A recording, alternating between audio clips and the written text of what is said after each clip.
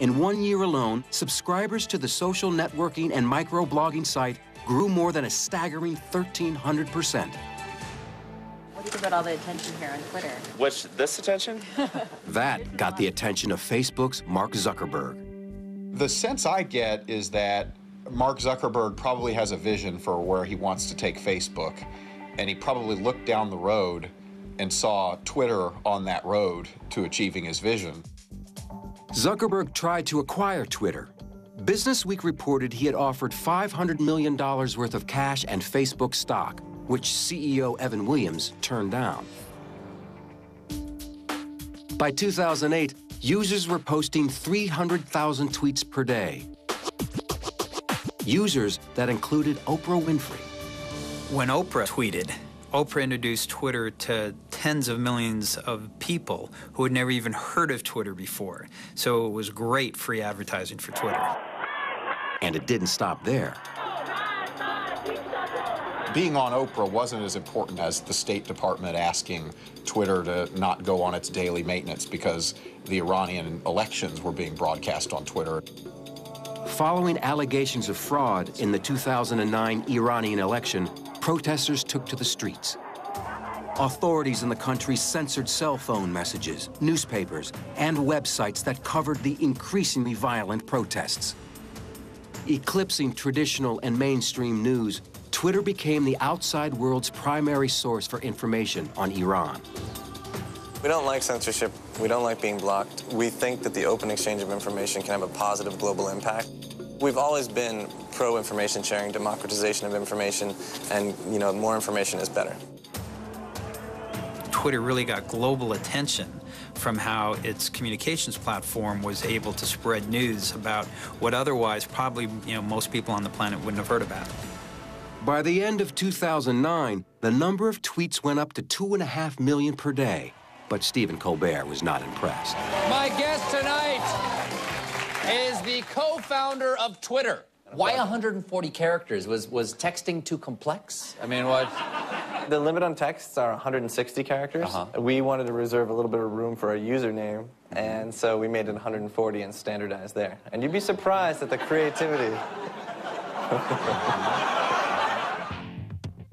Everybody was talking about Twitter.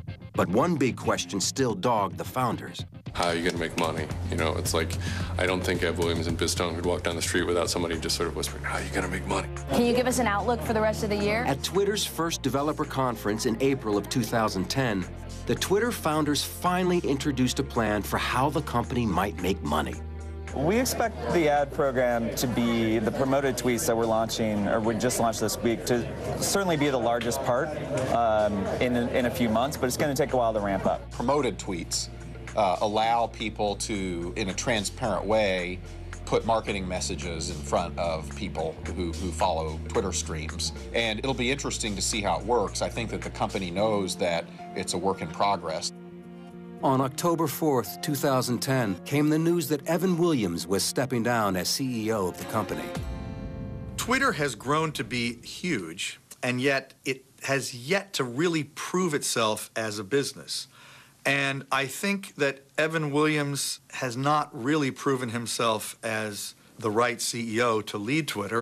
Replacing him as CEO would be former Chief Operating Officer Dick Costolo. We're growing at uh, just a ridiculous rate. You know, having been, having run a, a few other companies and, and having spent a couple of years at Google, the pace of growth that we see is just, you know, I've never seen anything like it. Dick Costolo, longtime known quantity in Silicon Valley, uh, the operations guy. Even though he's chief executive officer, he's really still the operations guy. Evans, uh, he's an idea guy, but he's not a CEO kind of a guy. Williams said he asked Costolo to take the job so he could be completely focused on product strategy. But the musical chairs in Twitter's top management continued in March of 2011. Williams' departure opened the door for original inventor Jack Dorsey to return to a major role, taking over as executive chairman. Dorsey tweeted he was thrilled to get back to work at Twitter. It's pretty obvious that innovation slowed down over the last couple years, and you know, while Twitter did grow dramatically, it grew without changing itself very much. There was a problem with Twitter from the beginning. That while it was a really cool technology, nobody really knew what it meant as a business. That is a problem that to some degree has dogged the company to this day.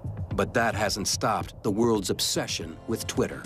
It's a dream come true for narcissists, but it's also a dream come true for journalists, celebrities, media people, brands, anybody literally that wants to reach a large public with a series of messages. That includes Lady Gaga, who is the most followed person on Twitter, and Justin Bieber runs a close second. The State Department has recognized its reach and is now using it as a modern day voice of America. Twitter is having an impact on world history. There just aren't very many companies that do that. There's no question that Twitter is becoming part of the fabric of our society, a way that people communicate, a way that news is disseminated. It's the twittering of birds, that communication that we don't really know the meaning of, and yet it is profoundly important.